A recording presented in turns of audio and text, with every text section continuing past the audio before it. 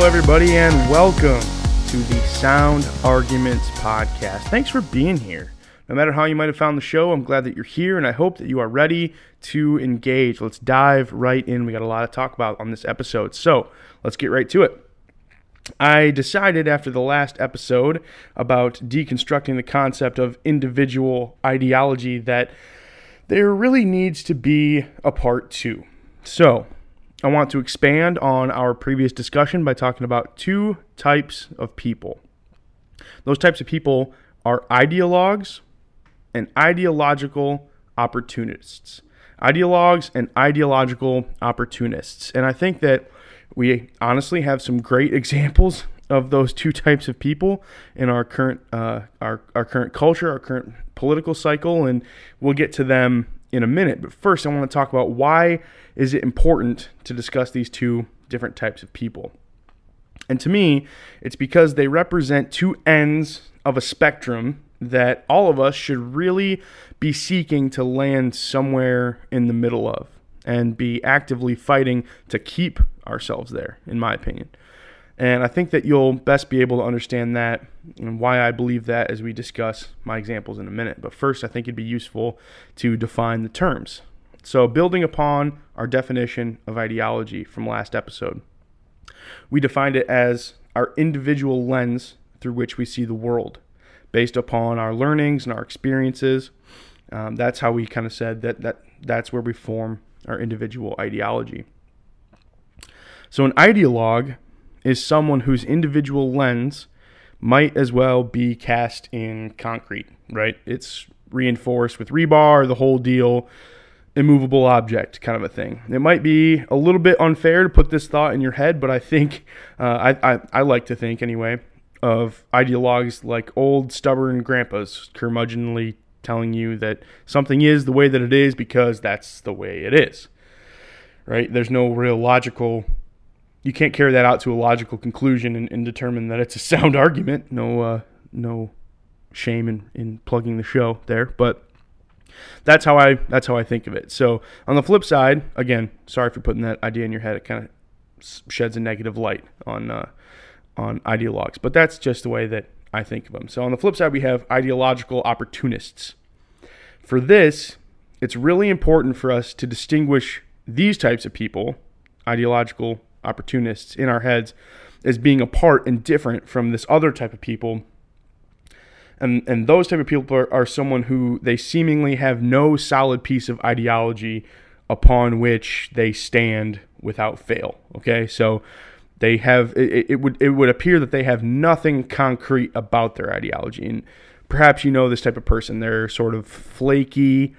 They seem to not want to upset the apple cart. They tend to just agree with you. Maybe they come into a conversation arguing for one point, but within one or, or two sound points that, that is presented by an opposing point of view, suddenly they've changed their minds, right? I want to call those people ideological nomads. And if it's something interesting enough to enough of you, maybe we'll talk about it further. But I want to differentiate because they they may seem similar to ideological opportunists, but I think that in reality, um, they just they just simply haven't done the intellectual legwork to know why they believe what they believe, and they don't know upon which opinions they're going to stand more firmly than others. Okay, so the opportunist, they are another thing entirely, and here's why. To me, it's because they consciously believe that a lack of any firm and unshakable piece of ideology actually gives them some sort of a competitive advantage, so to speak. They see no value in holding any belief with any amount of conviction, and they use the prevailing winds of popular opinion to align their ideology to whatever they think is going to score them the most points in that particular moment. So, those to me are the two ends of the spectrum that we are talking about when it comes to how we choose to use our individual ideology. One other point that I think it's really important to make is that this particular spectrum, the ideological spectrum, is a lot like the typical political spectrum that you see, which is actually it's it's presented more like a horseshoe shape with the far ends being actually closer to each other than they are to the midpoint. Hopefully, you know what I'm talking about when I when I say that. Um, I, personally, I think it's one of the more accurate depictions of the political slash ideological spectrum that I've seen.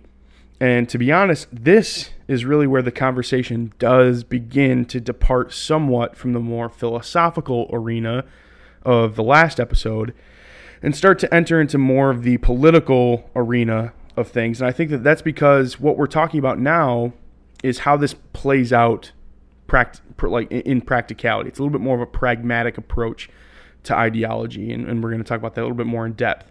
So, those are the two extremes, and I, I really think that they're actually quite close to one another. And I'll and I'll use my I'll use my examples to illustrate why that is.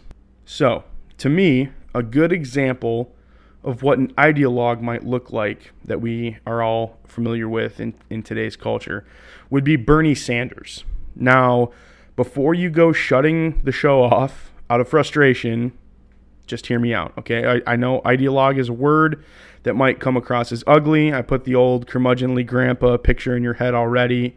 Um, so it you might think that I, am arguing this from a standpoint of, of being biased, but I but I really want you to hear me out, okay? I say Bernie Sanders because if you look throughout his lifetime, he has stayed on message with his beliefs for a very, very long time. I was just on YouTube the other day and I saw a video. It was Milton Friedman, who was an economist and professor. He won a Nobel Prize in 1976, I think it was. He just died maybe 10 years ago. Uh, anyway, if you don't know if you don't know who he is, I would definitely recommend looking him up. If you're watching this on YouTube, I'll put a link to that video that I'm talking about in the description. But it was a video of Milton Friedman giving a lecture on a college campus, and a young Bernie Sanders was in the audience posing him some questions. And the point that Bernie was trying to make, even back then in the 1970s, is that our system is unfair and it takes freedom away from people who are poor. So people who are poor don't have freedom. It was was his point, and and he thinks that by definition that is un-American. Liberty and justice for all means that liberty and justice for all, no matter of your your, your socioeconomic standing. So we can argue the debate and the nuances of that claim that he's making in a later show, and feel free to weigh in on that on Twitter and Gab. But the point is, Bernie Sanders has been standing on the same ideology for more than 40 years, probably 50 or 60, if we're being honest. Unchanging absolutely, in, in where he stands. And while there's something to be argued about possibly perceiving that as noble or righteous or something like that, in this exchange with Friedman, he was being confronted with sound arguments. Again, no no shameless self promotion intended, but honestly, Friedman's argu- arguments were they were logically sound, and yet there was no meaningful discourse to come out of the exchange. And, and Bernie's were logically sound too, in, in, in all honesty.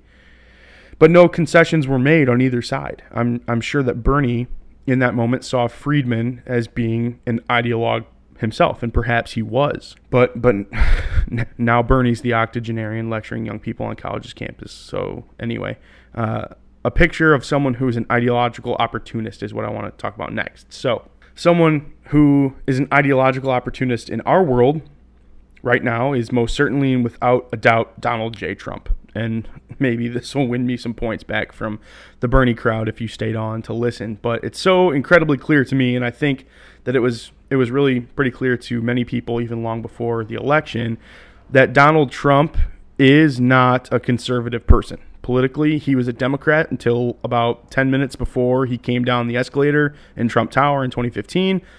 And that could really be the end of the necessary rationale for this example. But even now, in the last few weeks, we've seen him forego typical Republican stances on things like amnesty and healthcare reform in favor of what House and Senate minority leaders would have him do.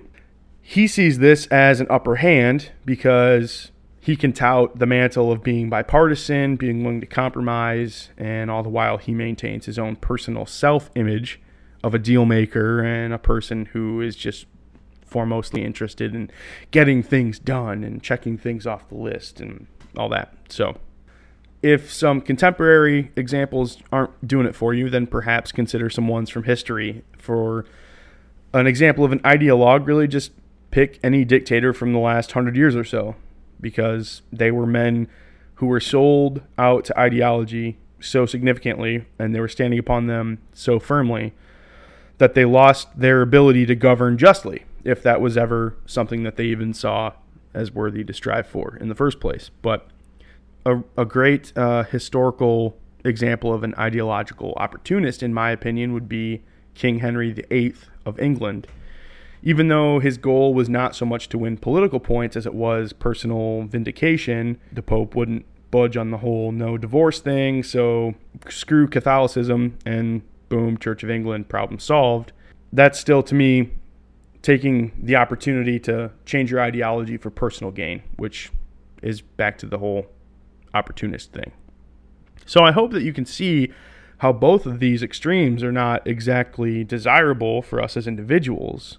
To me, it really breaks down kind of like this the, the ideologue side of the spectrum looks at reality and observes the way that it is and the ways that it's not equivocal to the way that they view the world. In other words, they look at the way the world is and it's not lining up with their worldview. Or perhaps it's it's not on course to become what they think that the world should be on course to become based on their ideology. In response to this observation of disparity, they set out to change the world. They seek to inspire others to think the same way that they do, form a movement to change personal opinion or change legislation or whatever other means that they say that they that they they observe as being able to provide uh, their desired end. On the other hand, we have opportunists who see the world as a set of arbitrary rules that really don't mean anything, and they're willing to accept any opinion or stance on any given subject so long as it gives them the means to the end that they are seeking to achieve. Usually, the end for the opportunist is more individualist rather than the ideologue who believes that their way of doing things would be the best for everyone and is generally more collectivist. Hopefully, these things have given you some food for thought for this episode. Maybe you'd even like to get in on the discussion with your own opinions, and you can do that. I would encourage you to go follow us on Twitter by searching at Sound Argue Pod. Again, terrible name, I know I'd like to get the sound arguments handle. Only you can help me get there. So, the more traction this podcast gets, the more legitimacy I have to come to Jack at Jack on Twitter with the claim of, hey, I'm I, I deserve to be verified and I deserve this handle. So go and follow at Sound Argue Pod on Twitter. The show is also on Gab. If you prefer some alternative to uh, to Twitter, you can find us at Sound Arguments on Gab. And as always, feel free to send us an email at soundargumentspodcast at gmail.com. We'll wrap it up for this episode with the big idea, which is this it's not really good to be an ideologue or an ideological opportunist. Hopefully, you at least took that much away from the show. We really ought to seek to be a moderate on the ideological spectrum. We should take an honest evaluation of what we believe be willing to compromise when sound arguments are presented to us that make a case for the other side. And at the end of the day, if we were able to wake up and seek to be people who change, grow, and learn for ourselves, as opposed to seeking to change the world to fit our own views, we're going to be that much more well rounded and free thinking individuals, which I believe is definitely worth the effort. That's all for this episode. This has been the Sound Arguments Podcast. Thanks for listening. And as always, be sure to subscribe on iTunes and on YouTube, and we will talk to you next time.